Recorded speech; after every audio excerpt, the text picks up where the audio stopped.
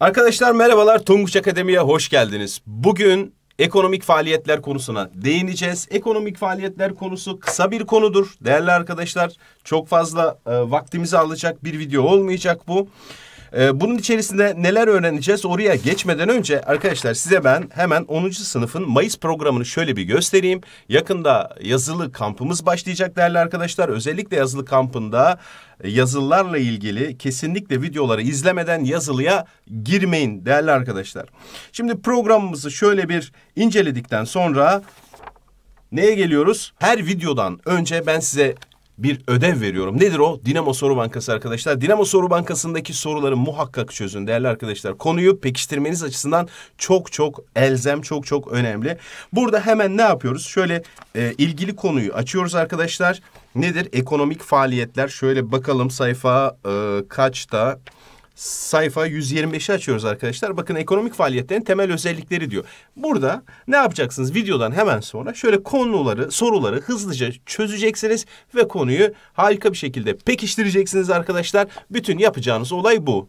Çok fazla vaktinizi de almayacak zaten bu soruları çözmeniz değerli arkadaşlar. Şimdi eğer sizler de hazırsanız biz de ne yapalım? Konuya başlayalım değerli arkadaşlar.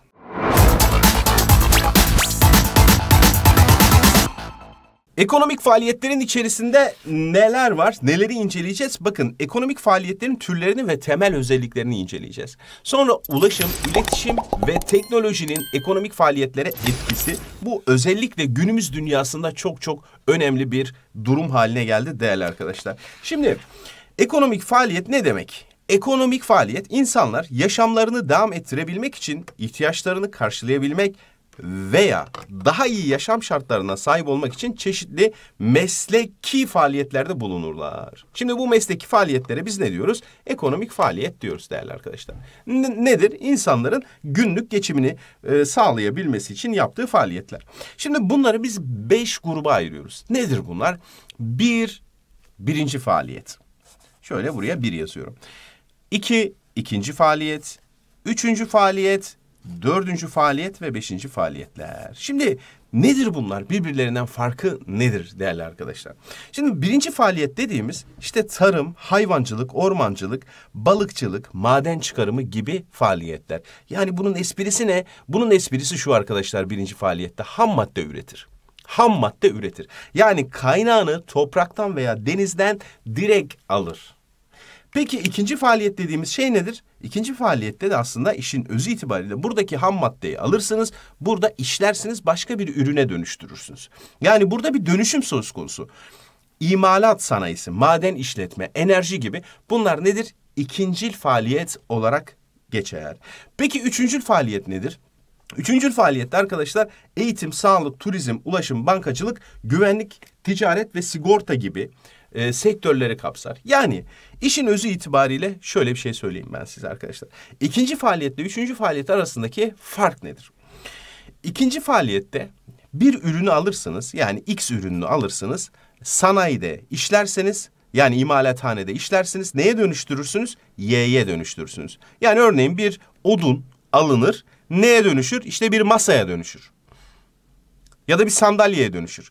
O zaman nedir arkadaşlar? Sandalyeyi yapan kişi nedir? İkinci faaliyet kapsamında çalışan kişidir. Peki odunu elde eden kişi kimdir arkadaşlar? Birinci faaliyette. Çünkü direkt ağacı kesiyor. Yani kaynağından alıyor, ham madde üretiyor. Anlatabildim mi? Şimdi peki üçüncü faaliyette ne var? Üçüncü faaliyette arkadaşlar siz herhangi bir stok ürün satmazsınız. Yani örneğin öğretmenlerinizi düşünün. Öğretmenleriniz size bir şey satar mı? Yani bir ürün alıp satar mı? Hayır. Size bir hizmet sunar. Bu hizmetin karşılığında nedir? Arkadaşlar bir para alırlar.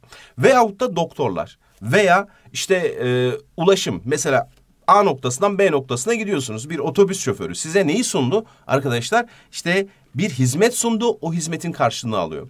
Veya bankacılık, işte adalet, güvenlik yani polislerimiz veya işte diğer güvenlik birimleri, sigortacılık vesaire. Bunlar nedir arkadaşlar? Üçüncül sektörler. Yani bu üçüne şöyle kabaca birinciye tarım, ikinciye sanayi, üçüncüye kabaca ne diyebiliriz arkadaşlar? Hizmet sektörü diyebiliriz. Çünkü burada bir hizmet sunma söz konusu var. Dördüncü faaliyet nedir? Arkadaşlar bilgisayar, online hizmetler, web tasarım, bilişim hizmetleri ve reklam sektörü gibi sektörler. Ve beşinci sektör nedir? Genel müdürlük. Yani CEO'lar. Şimdi burada şöyle bir durum var yani dört ile beş. Dördüncüler aslında dördüncü faaliyettekiler veri toplar arkadaşlar. Şöyle diyelim veri toplama tamam mı? Veri toplar, analiz yapar arkadaşlar. Ve bu analizi Kime sunar? Genel müdürlüğe sunar. Yani CEO'ya, şirketin yöneticisine sunar. Ya da şirket değilse bu devlet yöneticisi de olabilir. Buna sunar. Bu kim arkadaşlar? Bu karar verendir. Karar. Karar veren kimdir arkadaşlar? Beşincil sektördür. Şimdi atıyorum bir fabrikada diyelim ki e, birisi yani bu e, dördüncü faaliyetteki kişi şöyle bir şey yapar. Der ki işte e, Afrika'nın herhangi bir ülkesinde bir işte kabile ya da bir toplum, bir millet atıyorum battaniyeyi çok kullanıyor. Niye? İşte e, çeşitli törenlerde, geleneklerde vesaire atıyorum yani ben bunu. Çok kullanır. Geliyor bunu diyor ki CEO'ya diyor ki biz şimdi burada biz ne yapıyoruz? Tekstil işindeyiz. Battaniye üretelim ve bu ülkeye götürüp satalım. Şimdi ne yaptı bu adam? Bir veri topladı, analiz yaptı. Doğru mu? Dedi ki bu ülkeye biz bu ürünleri satarsak işte bizim için, fabrikamız için çok iyi olur. Peki bu bu bilgiyi topladı ama kendisi bununla ilgili karar verebilir mi? Hayır. Kararı kim verecek arkadaşlar? Şirket yönetimi ya da CEO. İşte onlar ne oluyor? Beşinci faaliyet oluyor sevgili arkadaşlar. Buna parlamenterleri dahil edebiliriz değerli arkadaşlar. Ne demek parlamenter? Yani işte ülkeyi yöneten, karar veren milletvekilleri vesaire. Tamam mı değerli? Kabaca olay bu sevgili gençler. Şimdi bunu biraz açacak olursak. Şimdi ne diyor birincil ekonomik faaliyetle ilgili? Temel maddelerin doğrudan veya dolaylı olarak doğal çevreden temin edilmesidir. Arkadaşlar doğrudan veya dolaylı olarak nereden temin ediyoruz? Doğal çevre. Doğal çevre dediğimiz şey nedir arkadaşlar? Deniz değil mi? Ve topraktır kabaca. Denizden, topraktan e, ne alıyorsanız direkt bu e, birincil ekonomik faaliyet kapsamına girer. Neler var içinde? Avcılık, toplayıcılık. Biliyorsunuz zaten ilk insanlar hep bu faaliyetlerle geçindi. Balıkçılık, ormancılık, madencilik, tarım ve hayvancılık. Şimdi bazı kaynaklarda bütün bunları kabaca ne olarak görürsünüz arkadaşlar? Birincil faaliyeti demin de söylediğimiz gibi tarım olarak görürsünüz. Şimdi bu faaliyetlerle geçinen bir toplum Tamam Avcı, toplayıcı, ormancı, maden. Ya bu toplum çok gelişmiş bir toplum olabilir mi günümüz için? Bir düşünün. Çok gelişmiş olabilir mi? Yani insanların hepsi işte ne yapıyor? Hayvancılık yapıyor, tarım yapıyor, toplayıcılık yapıyor, avcılık yapıyor, balıkçılık falan filan yapıyor. Yani çok gelişmesini bekleyemeyiz. Doğru mu? Çünkü bunların katma değeri bugünkü dünyada çok yüksek değil sevgili arkadaşlar. Şimdi ikinci ekonomik faaliyete baktığımızda ne görüyoruz? Birincil ekonomik faaliyetlerden elde edilen ham maddeler veya yarı işlenmiş maddeler kullanılarak yeni ürünler elde edilir. Ne dedik biz arkadaşlar? X'i yani herhangi bir ürünü, X bir ürünü Y'ye dönüştürmek. Yani birincil ekonomik faaliyetlerden elde edilen ham maddeler veya yarı işlenmiş olanlar yeni ürünlere dönüştürülüyor. Peki yeni ürünlere dönüştürmeniz için ne yapmanız lazım? Bir imalat, bir sanayi tesisiniz olması lazım sevgili arkadaşlar. İşte bunun içerisinde neler dahil oluyor? Sanayi faaliyetleri, inşaat faaliyetleri, arkadaşlar enerji üretimi bunlar buna dahil oluyor sevgili arkadaşlar. Şimdi üçüncü ekonomik faaliyete baktığımızda doğrudan bir üretim yok. Böyle bir şey yok. Ancak insanlara ve diğer ekonomik faaliyetleri ürün ve hizmet sağlanması esastır. Yani bir üretim söz konusu değil. Birincil faktörde veya ikincil faktördeki gibi stok mal yok sevgili arkadaşlar. Ne yapıyor? Bir hizmet sunuyor. Ya da işte ürünü bulmasında ne oluyor? Yardımcı oluyor. Nedir bunlar? İşte hukuk, sağlık, turizm, ulaşım, haberleşme ve eğitim gibi kavramlar sevgili arkadaşlar. Şimdi ben bunu şöyle size ee, kabaca örneklendirecek olursam. Şimdi Çukurova'yı biliyorsunuz. Çukurova Adana değil mi? Adana'da tarlada pamuk tarlasında çalışan bir işçi düşünün. Şöyle diyelim. Pamuk tarlasında çalışan işçi. Yani pamuk toplayan kişi, çalışan işçi. İşçi. Arkadaşlar bu hangi sektörde olur? Tarlada çalışan işçi. Ne yapıyor? Pamuk topluyor. Yani topraktan direkt topluyor. Bu ne olacaktır arkadaşlar? Birincil sektör ya da birincil ekonomik faaliyet. Tamam mı? Peki şöyle düşünün. Toplanan pamuğu ipliğe dönüştüren işçi. Tamam mı? Yani bir tekstil fabrikasında pamuğu ipliğe dönüştüren işçi ya da iplik üreten işçi diyelim. Bu hangi sektörde olacak arkadaşlar? Bakın ham maddeyi aldı başka bir ürüne dönüştürdü. Bu ne olacaktır? İkincil sektör. Yani ikincil ekonomik faaliyet. Peki şimdi ortaya bir ürün çıktı değil mi? İşte atıyorum iplikten e, bir kazak mazak falan filan üretildi vesaire. Sonra bu bir mağazaya gitti. Mağazada bunu satan tezgahtar. Tamam mı? Kaçıncı sektör olacak arkadaşlar? Tezgahtar üçüncül sektör olacak. Şöyle yazalım Roma rakamlarıyla. Üçüncül sektör. Tamam mı? Şimdi bu birincil, ikincil, üçüncül sektör yerine bazen sorularda şunu da görebilirsiniz. Yani pamuk tarlasında çalışan kişi kişi hangi sektörde? Tarım sektöründe. Bu sanayi sektöründe arkadaşlar. Bu ne olacak? Hizmet sektöründe olacak. Yani Ha tarım demişsin, tarım sektörü, ha birinci sektör demişsin. Sanayi demişsin, ha ikinci sektör demişsin. Ha hizmet demişsin, ha üçüncü sektör demişsin sevgili arkadaşlar. Yani bu örnek üzerinden bunları aklınızda tutabilirsiniz değerli arkadaşlar. Dördüncü ekonomik faaliyetler az önce ne dedik? Veri toplayan, veri ve analiz arkadaşlar. Veri ve analiz. Değil mi? Bunları yapan kişiler. Teknolojinin gelişmesine bağlı olarak günümüzde ortaya çıkan bilgi toplama, bilgiyi işleme. Bilgi toplama ne demek? Veri almak. Bilgi işlemek ne demek? Analiz etmek, değiştirme, yayma çalışmalarını kapsar. İşte bunların içerisinde neler vardı arkadaşlar? Grafikerler, değil mi?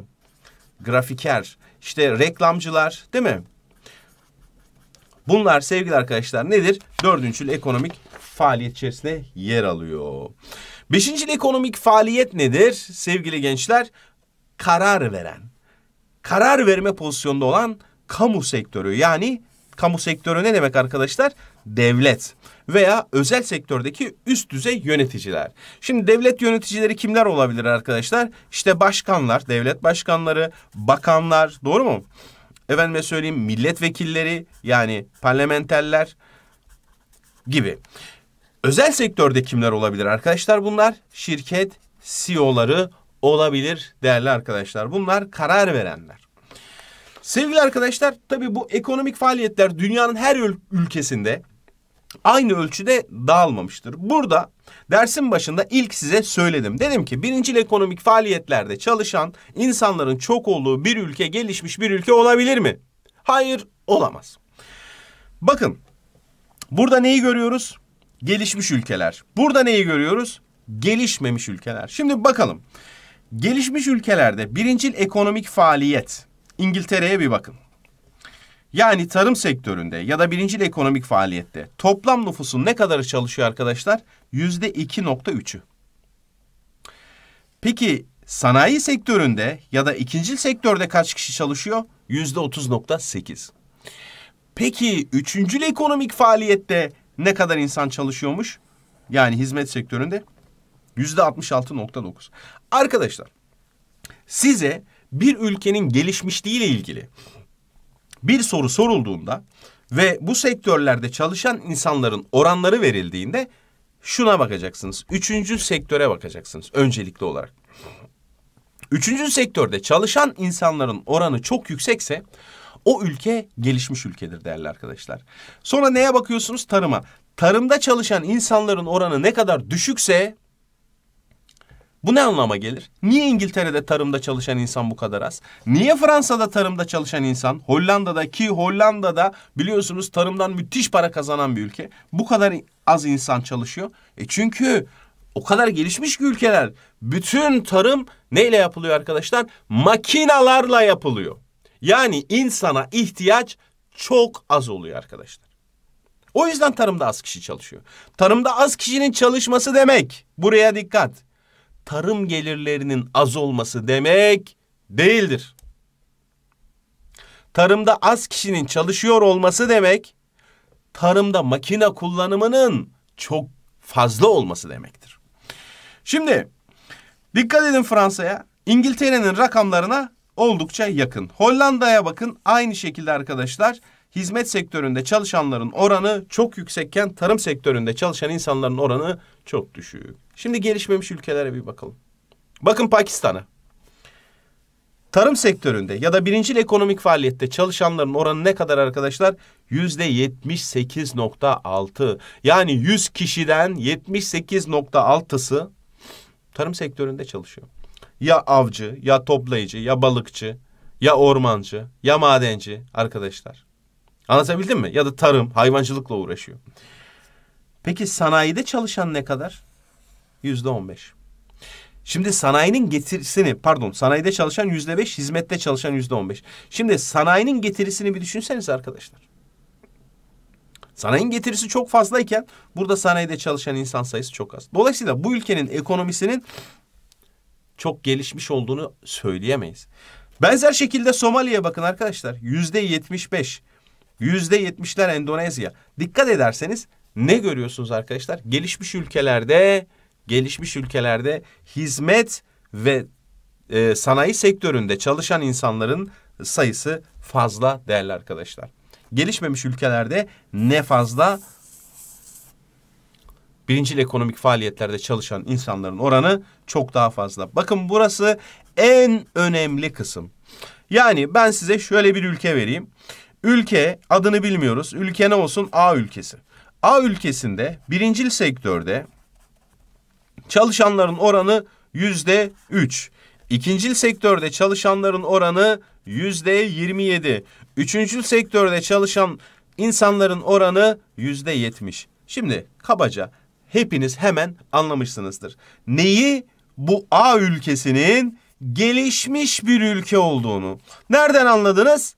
E dediniz ki tarımda çalışan insan oranı çok az. Çok azsa makina çok kullanılıyor. E kim makineyi kullanır arkadaşlar? Kim kullanır makineyi? Ekonomisi gelişmiş ülkeler. E hizmet sektöründe çalışanların oranı da oldukça fazla. O yüzden gelişmiş bir ülkedir diyoruz. Ve geldik neye arkadaşlar? Ulaşım, iletişim ve teknolojinin ekonomik faaliyetlere etkisi. Şimdi bakın. Bilişimin etkisi.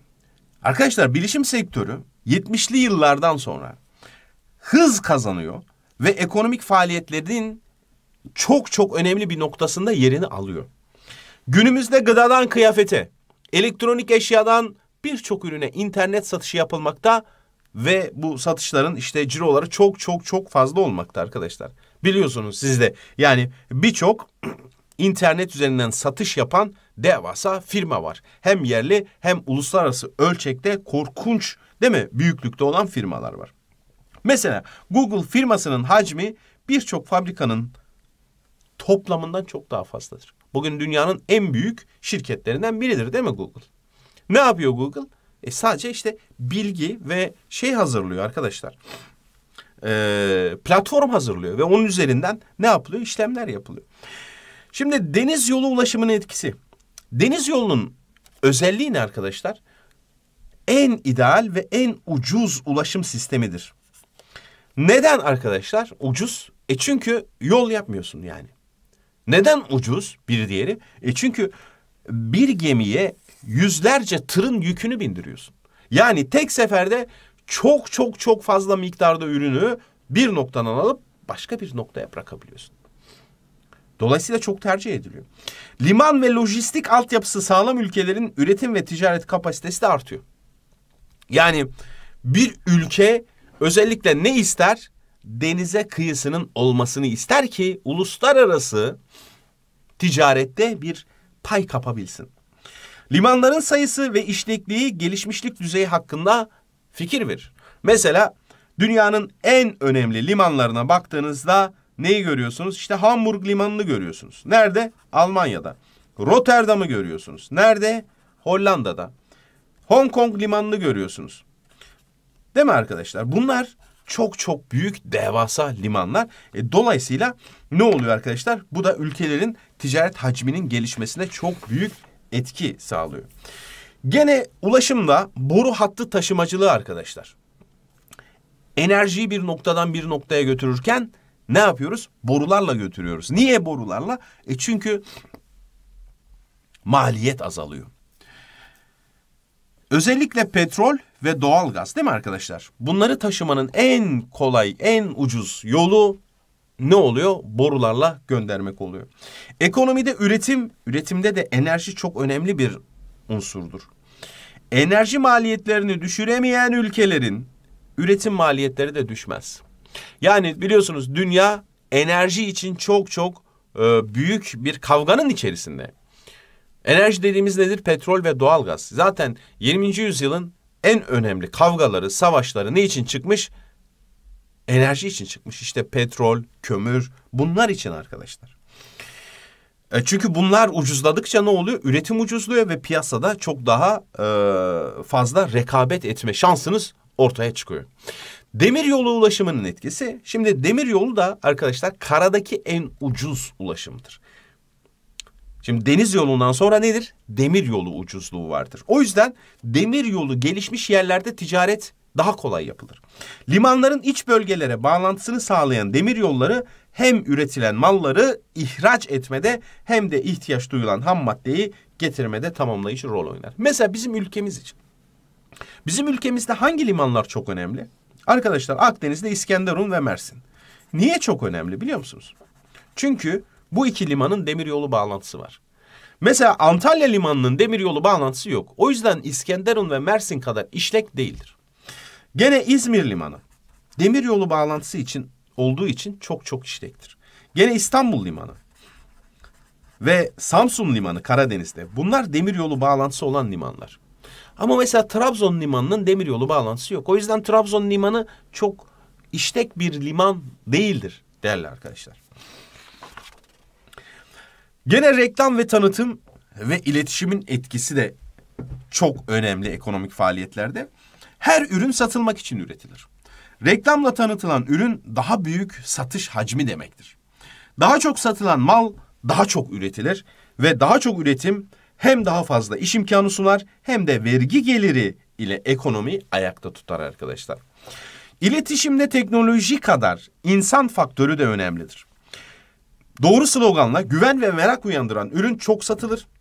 Çalışan personelin eğitim alması, dış görünüşü, ikna kabiliyeti, tanıtım programları satış hacminde önemlidir. Müşterilerini tanıtıma götüren devremülk şirketleri, promosyon hizmeti, fuarlar bunlara örnek verilebilir değerli arkadaşlar. Şimdi ne yapmış olduk biz? Ekonomik faaliyetleri şöyle bir kısaca gözden geçirmiş olduk sevgili arkadaşlar. Neye baktık? Ekonomik faaliyetlerin türlerini ve temel özelliklerine baktık. Değil mi? Birincil, ikincil, üçüncül, dördüncül ve beşincil. Ve ulaşım, iletişim ve teknolojinin ekonomik faaliyetlere etkisine baktık sevgili arkadaşlar. Şimdi size hemen şöyle ödüllü soruyu bırakıyorum arkadaşlar. Bunu videonun yorumlar kısmına yazıyorsunuz. Bir sonraki derste görüşmek üzere arkadaşlar. Hoşçakalın.